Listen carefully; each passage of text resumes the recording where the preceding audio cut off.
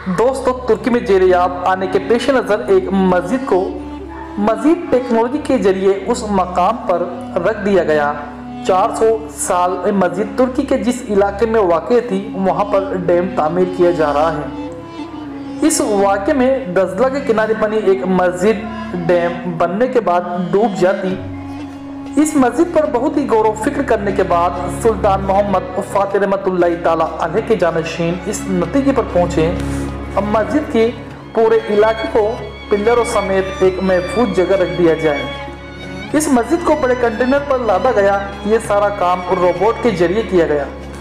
इस मस्जिद को तीन हिस्सों में पार्ट करके 2017 में तामीर होने वाले पाक किस्म की फीफा कल्चर पार्क फ़ील्ड में मुंतखब कर दिया गया। खाना काबा से मोहब्बत करने वाले तुर्कों ने यह कारनामा सर अंजाम देकर अपनी सुनहरी तामीर को ज़िंदा किया गया। दोस्तों आपका इस बारे में क्या कहना है? कमेंट बॉक्स में ज़रूर बताएँ।